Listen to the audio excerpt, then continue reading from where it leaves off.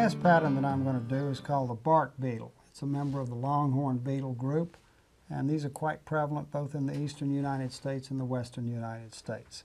This happens to be another of my favorite patterns. And I remember the first time I fished this, I kind of stepped into a stream out west and made the first cast and caught a fish, and I thought, well, that's a kiss of death because you don't want to do that.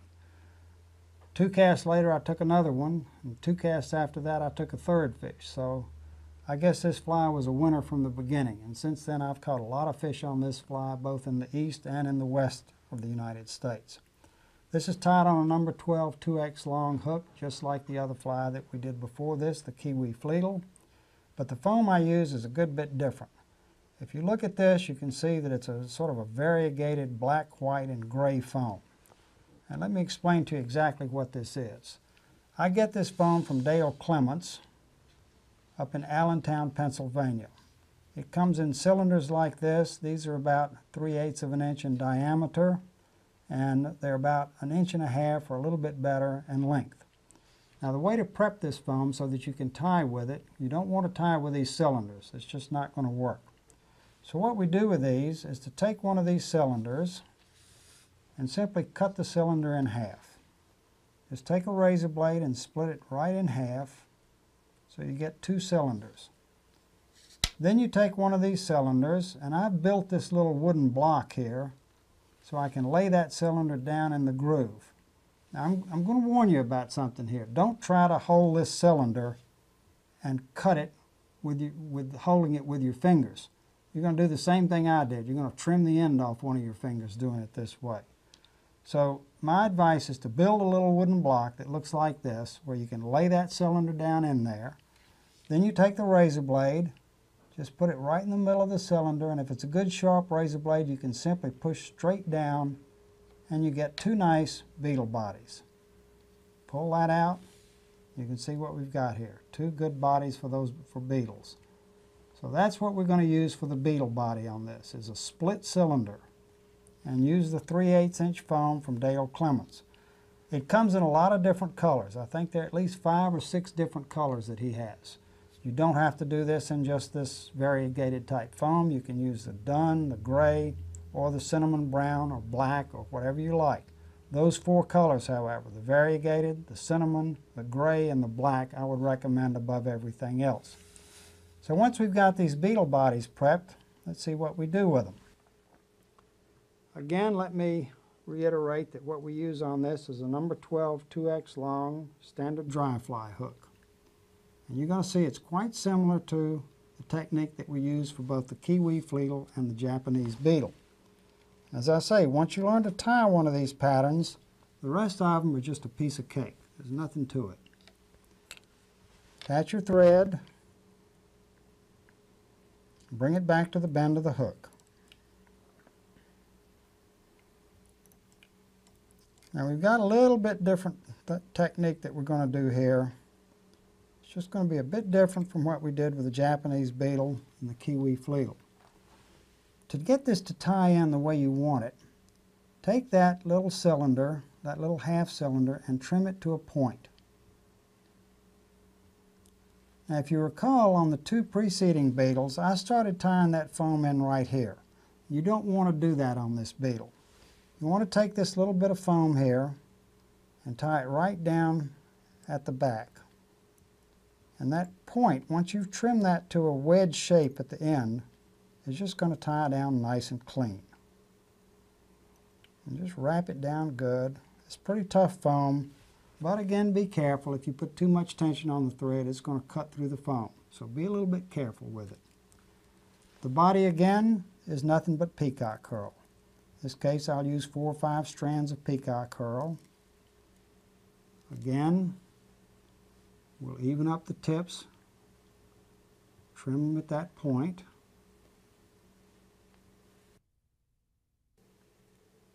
and tie them in.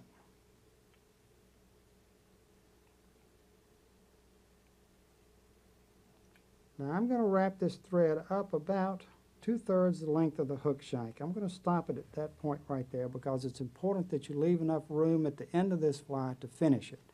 If you don't leave room, you're going to crowd it. You're going to have a real problem when you try to tie in the wings and the antenna and put the head in. So we wrap that peacock forward just like we did in the other beetles.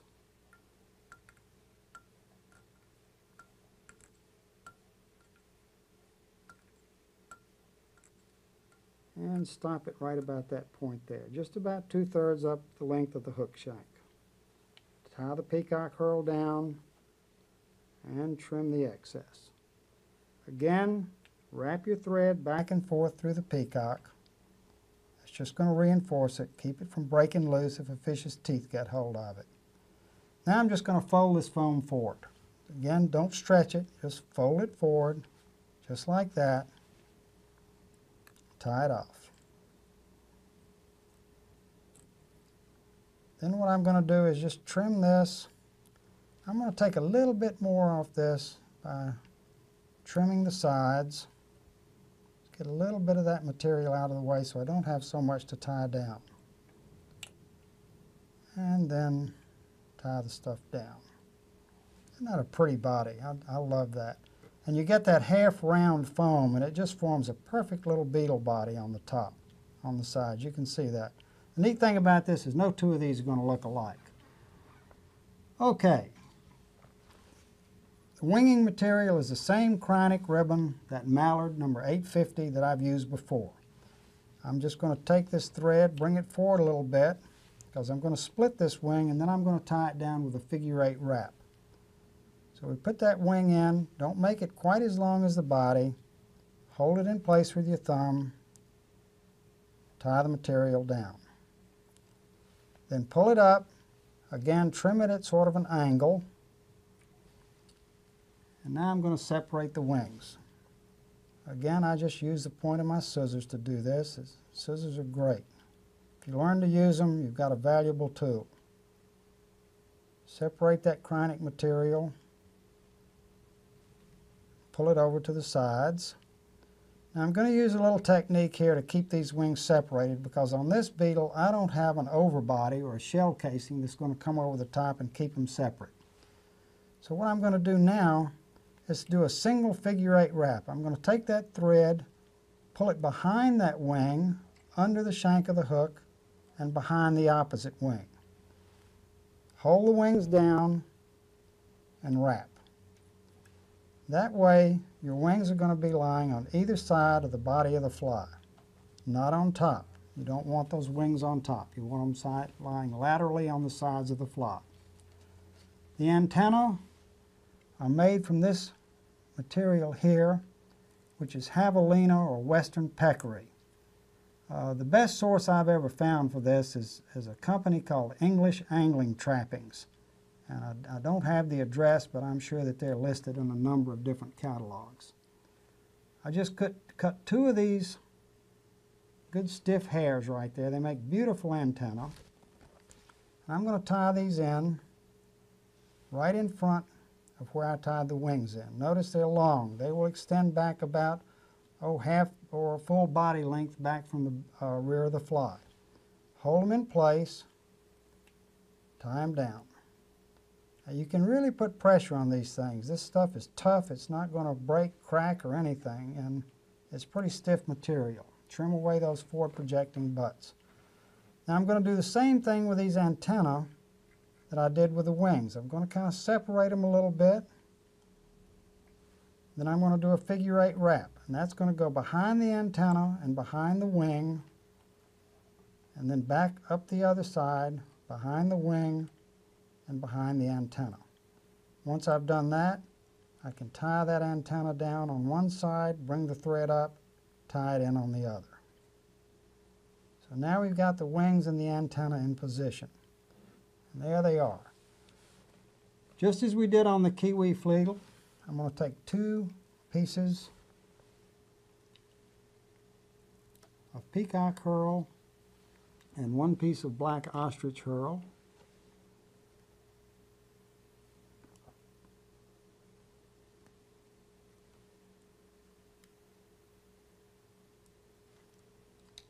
Sort of lay them down together,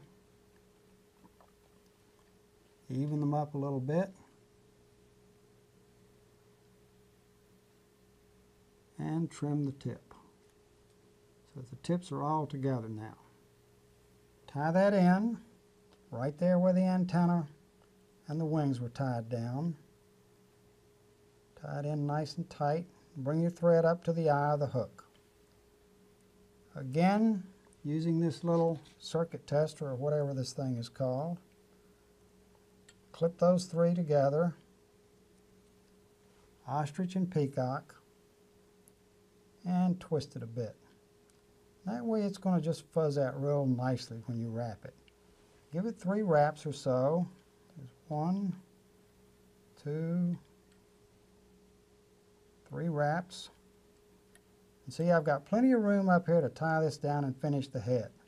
Now, it's imperative that you pay attention to your proportions on this. If you try to crowd that, you'll never get it right. Tie it down, trim this up, and then we'll whip finish it.